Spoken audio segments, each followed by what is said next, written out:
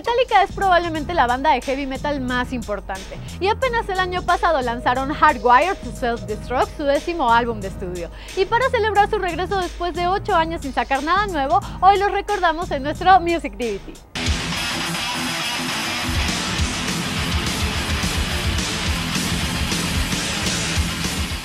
Empezó en 1981 cuando James Hetfield respondió a un anuncio en el periódico que había sido puesto nada más y nada menos que por el baterista Lars Ulrich. Oficialmente la banda ha tenido 8 integrantes en 35 años, pero la alineación actual tiene a Lars Ulrich en la batería, James Hetfield en la voz y en la guitarra, Robert Trujillo en el bajo y Kirk Hammett en la guitarra principal.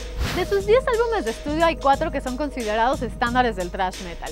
Su debut del 83, Kill 'Em All, Master of Puppets, and Justice for All y Metallica su homónimo del 91. La historia de la banda está llena de altibajos, controversias, excesos e incluso tragedias. De hecho, perdieron a su bajista Cliff Burton en un accidente durante la gira de Master of Puppets.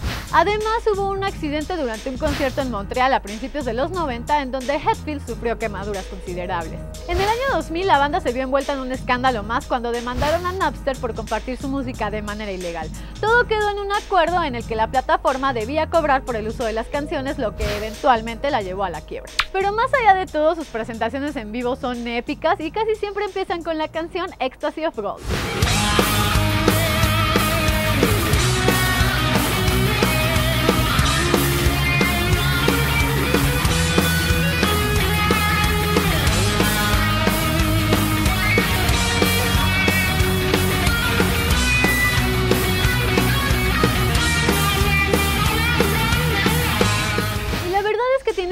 Canciones increíbles como One, Seek and Destroy, Orion y obviamente Enter Sadman, por lo que ir a un concierto de Metallica es una experiencia imperdible para los amantes de la música.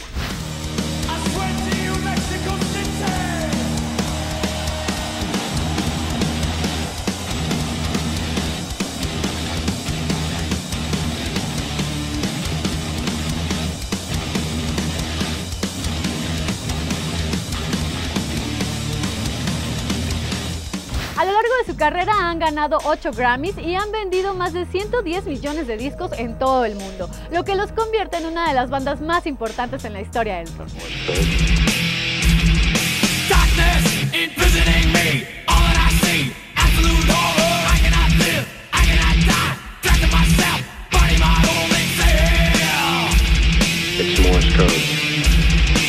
What?